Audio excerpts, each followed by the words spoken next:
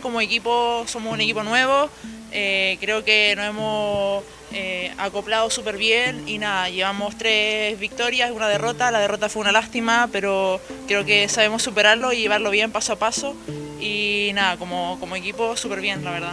La verdad es que sí, estamos trabajando muchas desde cero porque tenemos un equipo bastante nuevo, como ha dicho Cata pero yo creo que en general estamos muy a gusto, estamos trabajando muy bien, incluso hemos tenido bastantes lesiones, aunque sea bastante al principio de temporada ya hemos tenido bastantes lesiones y yo creo que las hemos sabido llevar bastante bien, incluso así hemos podido sacar los partidos adelante y por ahora bastante bien. Con cuatro partidos es difícil poder decir ya cosas de esas, ahora nos ponemos segundas que por ahora para los objetivos que tenemos está bien, fue una pena la derrota que tuvimos en Loyola, pero bueno, yo creo que vamos. Yo creo que hay que ir paso a paso, partido a partido y las cosas van saliendo por sí solas.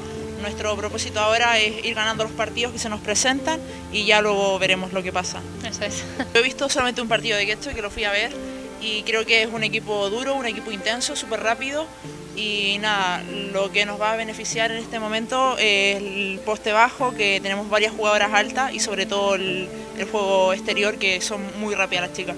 Así que nada, tenemos un buen equipo yo creo para enfrentarnos a Quecho. Ah, sí, se tendrá que trabajar bastante el partido porque obviamente no, hay, no, no va a ser fácil. Como ha dicho Cata, son súper intensas, van muy fuertes y habrá que trabajar para dar a, poder sacar la victoria. Pues nosotros os animamos a todos a que vengáis a animarnos, a ayudarnos a ganar porque cuanta más gente viene y más nos animan, obviamente para nosotros es un plus de, de motivación a seguir luchando y a seguir mejorando. Así que este domingo a las 6 de la tarde aquí en la Cesarre, todos invitados para que nos vengan a apoyar.